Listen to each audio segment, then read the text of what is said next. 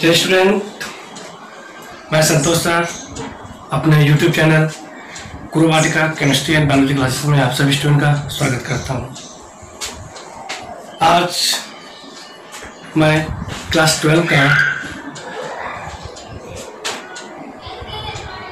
Biology का chapter one reproduction in organic का next topic पढ़ाऊँगा। ठीक है? तो आज का टॉपिक का शुरुआत हम लोग पर्पस ऑफ़ रिप्रोडक्शन से करते हैं।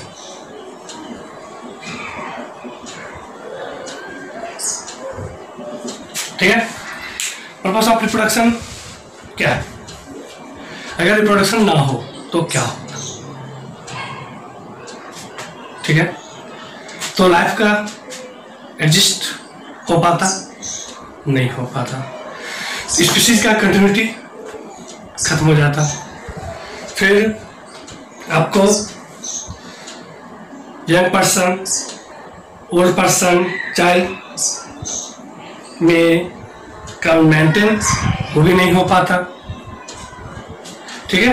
तो इसलिए पर्पज ऑफ़ रिप्रोडक्शन में हम लोग मेनली क्या कर रहे हैं? Reproduction maintain the continuity of species reproduction क्या करता है? स्पीसीज का कंटिन्यूटी को मेंटेन करता है। ठीक है? दूसरा रिप्रोडक्शन जो है वह अर्थ पर लाइफ को भी एग्जिस्ट करता है। अगर रिप्रोडक्शन अगर ना होगा किसी ऑर्गेनिज्म में तो लाइफ अर्थ पर एग्जिस्ट नहीं कर पाएगा। तीसरा point reproduction maintain the population of young adult and old person ठीक है? और चौथा most important reproduction gives the variation in organism reproduction जो है, वो ऑर्गेनिज्म में वेरिएशन प्रदान करता है, जिसके फलस्वरूप वह इवोल्यूशन और एडेप्टेशन में हेल्पफुल होता है। ठीक है? तो हम लोग लिखते हैं first point reproduction maintain the continuity of species reproduction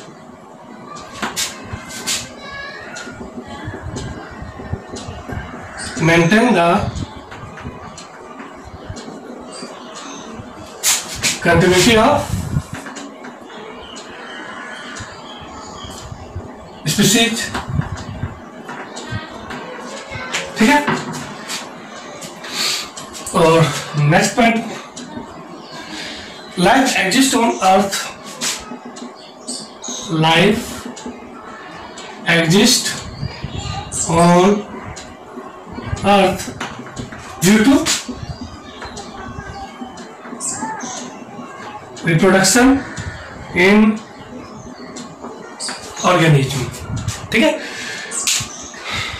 और तीसरा point reproduction maintain the population of एक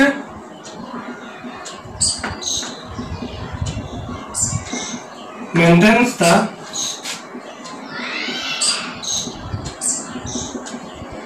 population of young adult और ओल्ड पर्सन और नेक्स्ट पॉइंट हम लोग क्या जानेंगे? Reproduction gift the variation in organism it gift the variation in organism ठीक है? दैट हम लोग इस दूसरा लैंग्वेज में अगर बोलना चाहें तो इस तरह से भी कह सकते हैं कि variation are essential for adaptation and evolution that is variation are essential for adaptation and evolution. ठीक है? ज़्यादा समझ में आ गया? अगर शॉर्ट में हम सीधा कहना चाहे तो क्या कहेंगे? Reproduction maintain the continuity of species life population organisation and variation life किस किस को मेंटेन करता है? बोलो। फ़र्स्ट मैंने क्या बताया? Continuity of species continuity of species दूसरा लाइफ को मेंटेन करता है। तीसरा पॉपुलेशन ऑफ़ यंग एडल्ट और ओल्ड पर्सन को क्या करता है? मेंटेन करता है। अर्थात कंटिन्यूटी ऑफ़ स्पीसीज को करता है ये? पॉपुलेशन ऑर्गेनाइजेशन को भी यह मेंटेन करता है। इसको कहता है पॉपुलेशन ऑर्गेनाइजेशन को मेंटेन करता है और यह वेरिएशन को भी मेंटेन करता है। ठीक है? समझ गए आप लोग सभी स्टूडेंट ठीक है? अब हम लोग आते हैं टाइप्स ऑफ़ रिप्रोडक्शन ठीक है? टाइप्स ऑफ़ रिप्रोडक्शन ठीक है? तो रिप्रोडक्शन मेनली टू टाइप्स का होता है। ठीक है? Mainly two types first is sexual reproduction और दूसरा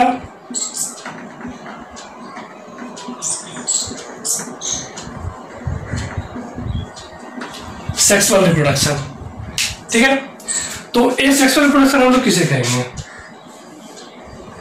इसके बारे में हम लोग अब जानने का कोशिश करते हैं। तो what is A sexual reproduction क्या बोलेंगे?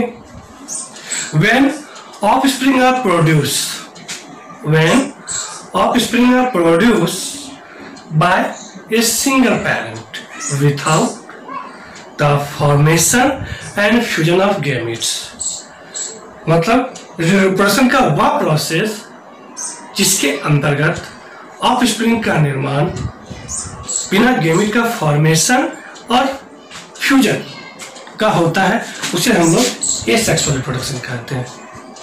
ठीक है? तो क्या बोलेंगे? When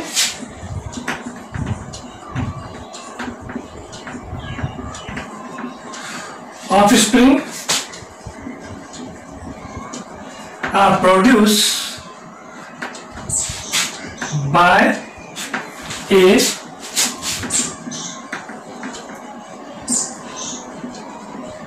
single parent without the formation and fusion of gametes. ये मेरा किसका डिफिनेशन हुआ? ए सेक्सुअल रिप्रोडक्शन का, ठीक है? तो गैमिट्स यह है what is gamete it is a haploid cell gamete haploid होता है, ठीक है? और जो ऑर्गेन्स गैमिट्स का फॉर्मेशन करता है उसे बोलते हैं हम लोग प्राइमरी सेक्स ऑर्गेन या फिर गुनास ठीक है? वह ऑर्गेन जो केमिस्ट का फॉर्मेशन करता है, उसे प्राइमरी सेक्स ऑर्गेन या फिर गुनाट्स कहते हैं। ठीक है? तो मेल गोनास का नाम क्या होगा? जो कि मेल केमिट का फॉर्मेशन करता है। वो होता है टेस्टिस ठीक है? टेस्टिस कौन सा मेल केमिट का फॉर्मेशन करता है? स्पर्म समझ आ गया? अब next female gamete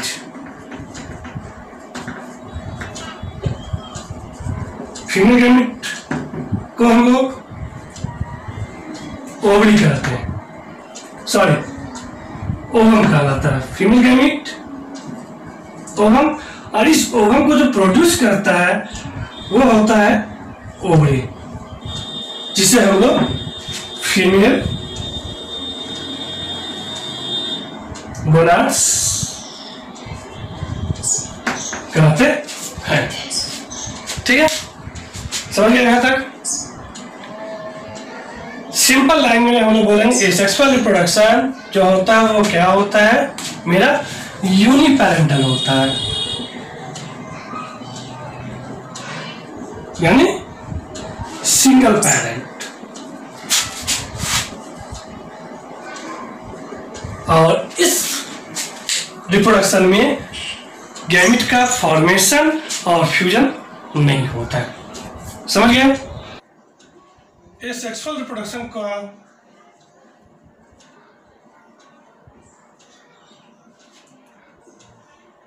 के लिए हम एनोदर टर्म कौन सा यूज़ करते हैं? ए गैमोजेनेसिस ए गैमोजेनेसिस और ए गैमोजेनी और ए गैमोजेनी टर्म का यूज़ करते हैं। ठीक है?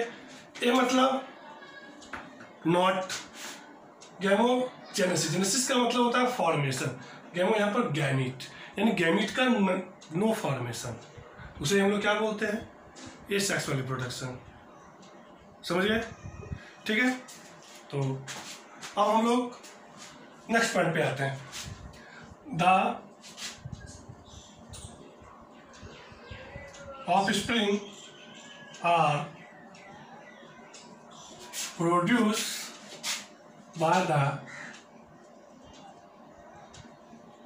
asexual reproduction are not only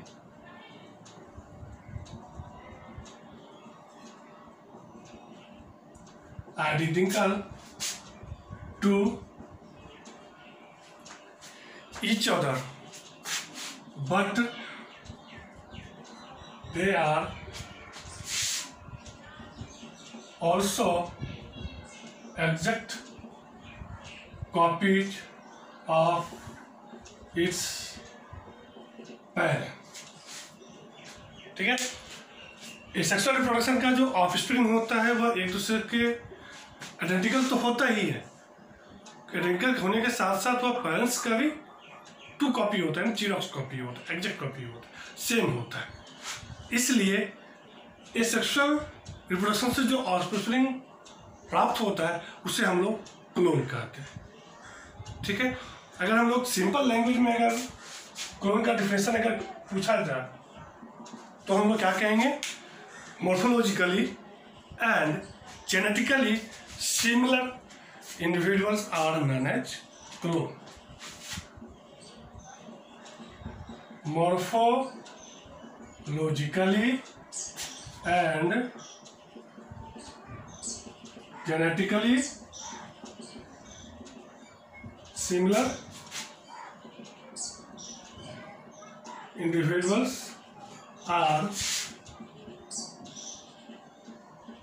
known as clone ठीक है ये सेक्सुअल रिप्रोडक्शन जनरली किसे पाया जाता है?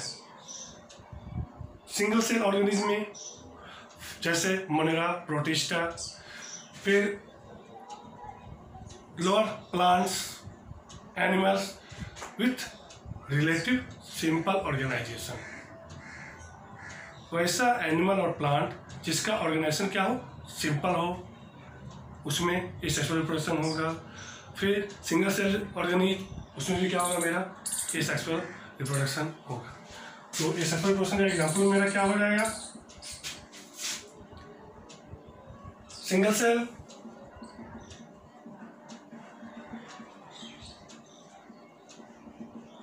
ऑर्गेनिक जैसे मोनेरन्स एंड प्रोटिस्टा फिर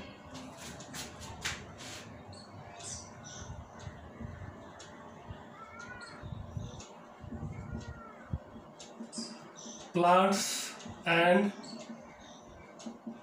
animals with simple organisation ठीक है? ये सभी में मेरा क्या होता है जनरली ये सेक्सुअल रिप्रोडक्शन होता है। ठीक है? अब हम लोग नेक्स्ट टॉपिक पे आते हैं। सेक्सुअल रिप्रोडक्शन ठीक है? तो सेक्सुअल रिप्रोडक्शन का डिफिनेशन क्या बोलेंगे हम लोग? When offspring are produce by two parents with the formation and fusion of gametes. Is called sexual reproduction. वैसा ऑस्प्रिंग जो टू पेरेंट्स के द्वारा प्राप्त होता है जिसमें गैमिट का फॉर्मेशन और फ्यूजन दोनों उपस्थित होता है। प्रोसेस उसे हम लोग क्या कहते हैं? सेक्सुअल रिप्रोडक्शन ठीक है? When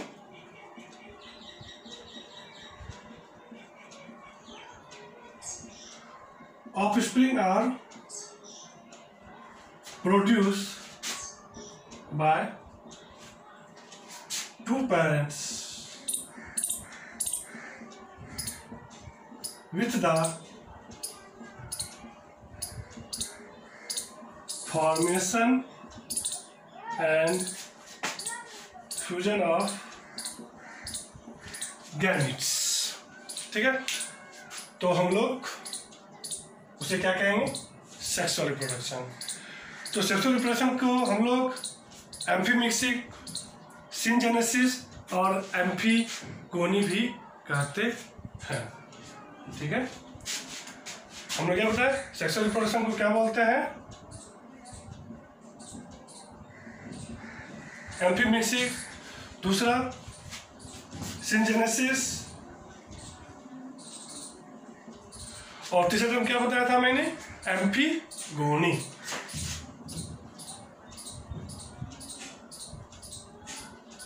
एम्फी यह तीनों टर्म हम लोग सेक्सुअल रिप्रोडक्शन के लिए यूज़ करते हैं। ठीक है? तो amphimixis actually Greek word से डिराइव किया हुआ है। तो वह ग्रीक वर्ड क्या है मेरा? एम्फी और मिक्सिक एम्फी का मीनिंग होता है बोथ और मिक्सिक का मीनिंग होता है यूनियन इसलिए इसे हम लोग एम्फी मिक्सिक क्योंकि सेक्सुअल रिप्रोडक्शन में दो पेरेंट्स चाहिए male and female both union दोनों का कॉम्बिनेशन होगा, तभी सेक्सुअल रिप्रोडक्शन होगा, इसलिए इसे हम लोग सेक्सुअल रिप्रोडक्शन को एम्फी मिक्सिक भी कहते हैं। ठीक है? दूसरा टर्म मैंने क्या बोला? सिन जेनेसिस यह भी ग्रीक वर्ड से डिराइव किया गया है। तो कौन सा ग्रीक वर्ड से डिराइव किया गया? सिन और जेनेसिस से। सिन और जेनेसिस से। सिन का अर्थ क्या होता है? टुगेदर जेनेसिस का अर्थ होता है ऑरिजिन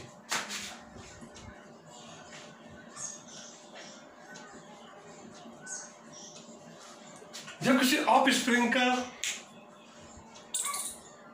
फॉर्मेशन टुगेदर यानी दो ऑर्गेनिज के मिलने से होता है। दो ऑर्गेनिज के गैमिट के आपस में मिलने से होता इसलिए सेक्सुअल रिप्रोडक्शन के हम लोग सिंथेसिस वर्ड का भी यूज़ करते हैं। ठीक है? और नेक्स्ट बताया था मैंने एम्फी गोनी स्पष्ट है एम्फी वर्ड का अर्थ क्या होता है? बोथ और एक दूसरा वर्ड इसमें क्या है? गोनी और गोनी का अर्थ होता है मैरिज एक लड़का, एक लड़की से मैरिज करेगा तो फिर सेक्सुअल रिप्रोडक्शन के बाद अपने ऑफस्प्रिंग को रिप्रोड्यूस करेगा। इसलिए इसका हम लोग क्या बोलते हैं? एम्फी गोनी ये एम्फी गोनी किससे डिराइव किया गया वर्ड ग्रीक वर्ड से। किससे किससे बन लिया गया है? एक एम्फी वर्ड से बना हुआ, और दूसरा गोनी गोनी का अर्थ होता है मैरिज और एम्फी का वर्ड होता है बोथ ठीक है? तो यहाँ तक समझ गया?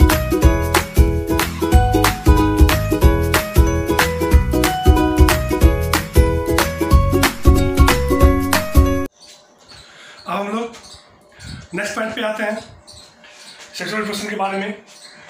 तो नेक्स्ट पॉइंट क्या है? The formation of male and female gametes either by the same और different individual of opposite sexes opposite sex का डिफरेंट इंडिविजुअल या फिर सेम इंडिविजुअल में क्या होगा? मेल और फीमेल गैमिट का फॉर्मेशन होता है। ठीक है?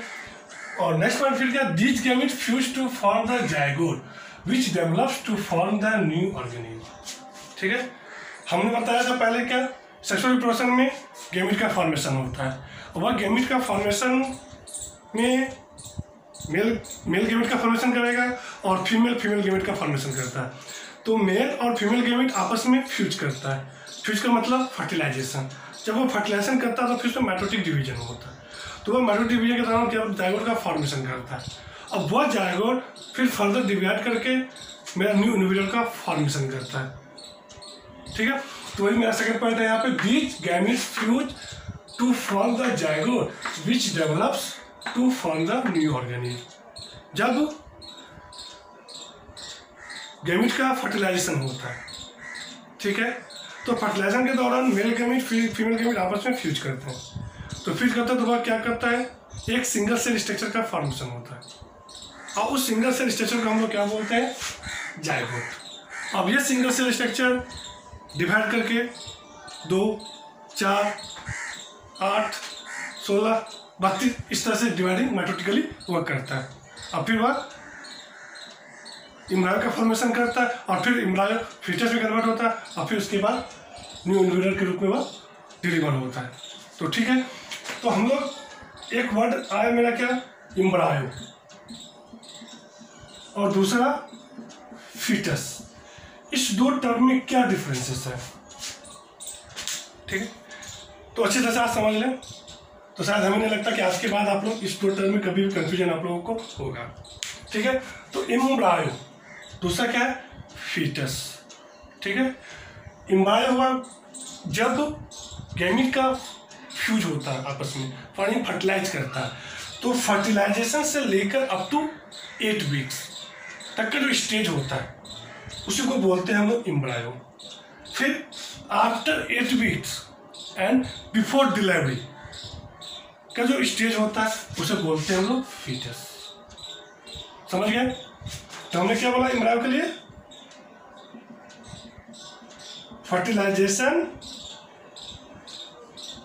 up to eight weeks और फीटस में क्या हो जाएगा? After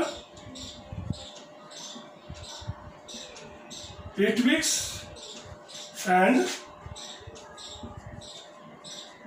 before baby delivery का जो स्टेज होता है प्रेगनेंसी के दौरान यूटरस में तो उस कंडीशन को बोलते हैं हम लोग, उस बेबी को बोलते हैं फीटस और एट वीक से बिफोर या अप टू एट वीक तक को बोलते हैं इम्ब्रायो ठीक है? कंफ्यूजन नहीं हो। तो इसे हम कैसे मेमोराइज करेंगे? देखिए आप। ई फिर अगेन इसे अपोजिट ई बना दिया। क्या बन गया? एट तो याद रखना है एट वीक तक का प्रेगनेंसी का जो स्टेज होता है, उस स्टेज में जो बेबी होता है यूटरस में। उसे हम लोग क्या कहते हैं? इम्ब्रायो और एट वीक के बाद और डिलीवरी से पहले तक का जो स्टेज होता है, उसे बोलते हैं हम लोग फीटस। ठीक है? ज़्यादा समझ में आ गया? कोई दिक्कत नहीं, चलिए। अब नेक्स्ट पॉइंट हम लोग क्या करें? The offspring are produce by the sexual reproduction are not identical to their parents due to fusion of two gametes ये सेक्सुअल रिप्रोडक्शन मैंने क्या बताया था? सेक्सुअल रिप्रोडक्शन में जो ऑफस्प्रिंग का जो प्रोडक्शन होता है, वो क्या होता है? अपने पेरेंट्स का एग्जैक्ट कॉपी होता है। लेकिन सेक्सुअल रिप्रोडक्शन से जो ऑपरेशन प्रोड्यूस होता है, वह पेरेंट्स का आइडेंटिकल नहीं होता है। क्यों नहीं होता है? क्योंकि वहाँ पर दो डिफरेंट पेरेंट्स से दो डिफरेंट गेमिंग का फ्यूजन है इसलिए वो पेरेंट्स का आइडेंटिकल नहीं होता है। ठीक है? समझिए फिर sexual reproduction are occurs almost in all types of plants and animals approx सभी एनिमल्स और प्लांट्स में जो रिप्रोडक्शन की प्रक्रिया होती है वह सेक्सुअल रिप्रोडक्शन होता है। ठीक है? यहाँ तक समझ गए? अब हम लोग आते हैं डिफरेंस बिटवीन ए सेक्सुअल रिप्रोडक्शन और सेक्सुअल रिप्रोडक्शन में। ठीक है?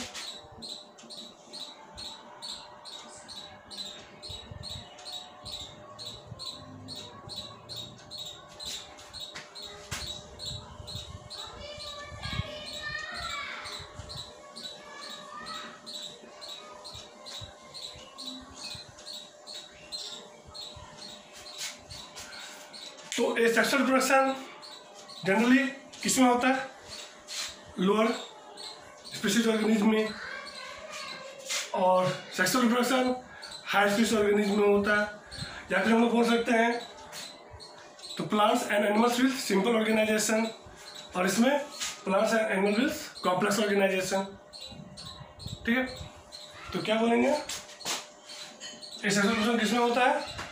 Lower in vertebrate plants and animals with simple organisation ठीक है? और जबकि सेक्सुअल रिप्रोडक्शन किसमें होता है? Vertebrates and almost all types of plants and animal almost all types of plants and animals with complex organisation ठीक है? फ़र्स्ट पर्सन में आगे दूसरा इट ऑलवेज यूनिपेरेंटल और सेक्सुअल रिप्रोडक्शन यूजुअली बायपेरेंटल ये क्या होता है? ऑलवेज यूनिपेरेंटल होता है और सेक्सुअल रिप्रोडक्शन मेरा यूजुअली बाई पेरेंटल होता है। ठीक है? यहाँ समझ में आ गया? तो अब नेक्स्ट तीसरा क्या होता है? डिफरेंस नो गैमिट फॉर्मेशन और इसमें गैमिट फॉर्मेशन ऑलवेज फॉर्म ठीक है? नो गैमिट्स फॉर्मेशन और इसमें always gametes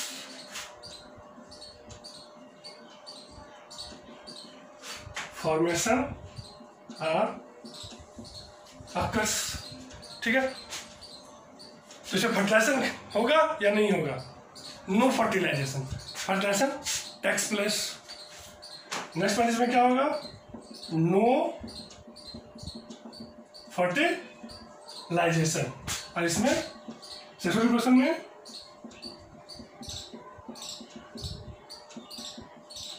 fertilisation takes place तो यहाँ तो समझ में आ तो ये सेक्सुअल प्रोडक्शन में माइटोसिस डिवीज़न होता है। जबकि सेक्सुअल प्रोडक्शन में माइटोसिस और म्यूसिस दोनों होता है। इसमें ओनली माइटोसिस डिवीज़न इन्वॉल्व और इसमें क्या हो जाएगा मेरा? Both mitosis and meiosis division involves.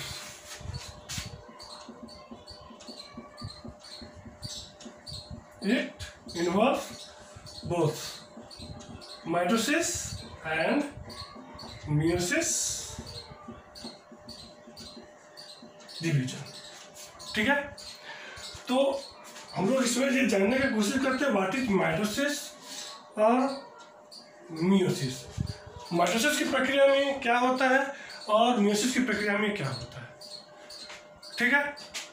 तो माइटोसिस की प्रक्रिया में मेरा सेल एक सेल दो सेल का फॉर्मेशन करता है। और म्यूसिस में एक सेल फोर न्यू सेल्स का फॉर्मेशन करता है। तो न्यू सेल्स में क्रोमोसोम की संख्या पैरेंट सेल्स के इक्वल होता है। लेकिन म्यूसिस की प्रक्रिया में न्यू सेल में क्रोमोसोम संख्या पैरेंट सेल से हाफ़ हो जाता है। ठीक है? सपोज़ की जैसे मान लो मैंने एक सेल लिया। यदि इस सेल में क्रोमोसोम की संख्या मान ली हम लोग, क्या है? टू एन है। तो अब इसमें माइटोसिस डिवीज़न हुआ। अगर इस सेल में माइटोसिस डिवीज़न होगा तो ये क्या होगा फॉर्मेशन टू न्यू सेल्स का फॉर्मेशन होगा। बन गया? तो इस टू न्यू सेल्स का फॉर्मेशन यहाँ जो जितने क्रोमोसोम की संख्या टू है तो यहाँ पर भी मेरा क्रोमोसोम संख्या क्या होगी? टू होगी। और इसमें भी क्या मेरा होगी? टू होगा। लेकिन यदि अगर म्यूसिस की प्रक्रिया होता है तो म्यूसिस की प्रक्रिया में सबसे पहले म्यूसिस दो स्टेज में होता है। एक म्यूसिस फ़र्स्ट और म्यूसिस सेकेंड तो म्यूसिस की फ़र्स्ट स्टेज में क्या होता है? अगर किसी सेल में म्यूसिस फ़र्स्ट की डिवीज़न होगा तो इस म्यूसिस फ़र्स्ट की डिवीज़न से पहले ये क्या होता है? दो सेल में डिवाइड होता है। जिसमें क्रोमोसोम संख्या क्या हो जाती है? हाफ़ हो जाती है। अब यह दो सेल, फिर अगेन म्यूसिस सेकेंड की प्रक्रिया इसमें इन्वॉल्व होता है। तो फिर फर्दर दो न्यू सेल्स का फॉर्मेशन हुआ। इस सेल के द्वारा। इसमें क्रोमोसोम संख्या एन तो इसमें क्रोमोसोम की संख्या फिर एन ही रहती है। एक्चुअली यह meiosis second equivalent to mitotic division ठीक है? तो इसलिए म्यूसिस की डिवीज़न में क्या होता है? क्रोमोसोम की संख्या हाफ़ हो जाती है, लेकिन नंबर ऑफ़ सेल्स की संख्या कितनी हो है? फोर और जबकि माइटोसिस की डिवीज़न में सेल्स की संख्या दो होती है और क्रोमोसोम संख्या इक्वल होता है। ठीक है? समझ गया यहाँ तक किसी को कोई दिक्कत? तो स्क्रीन स्क्रीनशॉट ले लें।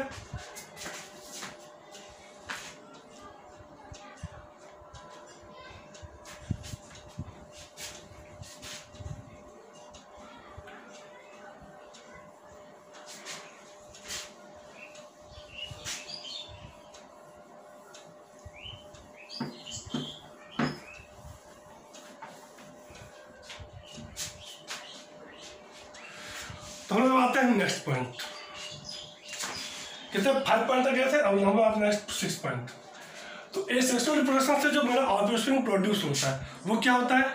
मोर्फोलॉजिकली और जेनेटिकली आइडेंटिकल होता है। इसलिए उसे क्या कहते हैं? क्लोन लेकिन सेक्सुअल रिप्रोडक्शन में जो ऑब्वियसली प्रोड्यूस होता है, वह मोर्फोलॉजिकली और जेनेटिकली डिफरेंट करता है। वेरिएशन होता है। पेरेंट्स की तुलना में। ठीक है? तो हम लोग क्या करेंगे? Young ones are genetically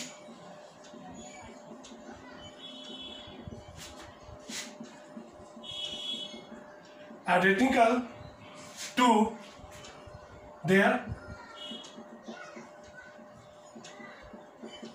parents और सेक्सुअल रिप्रोडक्शन में क्या होता है मेरा? Young ones are differ genetically to their parents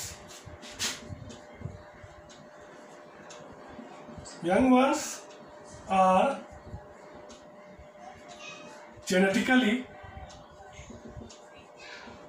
differ to their parents. Next point में क्या आ जाएगा? ये सेक्सुअल रिप्रोडक्शन में जो मल्टीप्लिकेशन होता है, वो क्या होता है? फास्ट होता है रैपिड होता है। और जबकि सेक्सुअल रिप्रोडक्शन में स्लो होता है। मल्टीप्लीकेशन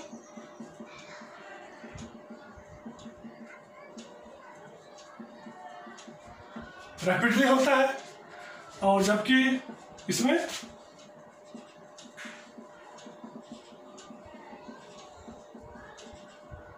कैसा स्लो होता है। ठीक है? और सेक्सुअल पर्सन से जो मेरा यंगनेस प्राप्त होता है, उसमें वेरिएशन नहीं होता है। और सेक्सुअल पर्सन जो मेरा यंग वंस प्राप्त होता है, उसमें वेरिएशन होता है। Young ones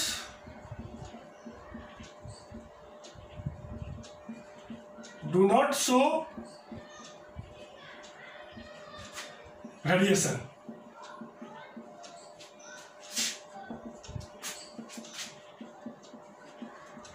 young ones, show the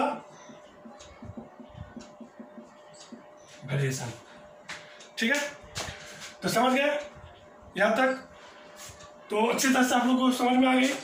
अगर मेरा वीडियो अगर आप लोग को पसंद आया तो लाइक कमेंट सब्सक्राइब और शेयर करना ना भूलें अपने फ्रेंड्स एंड रिलेटिव के बीच में।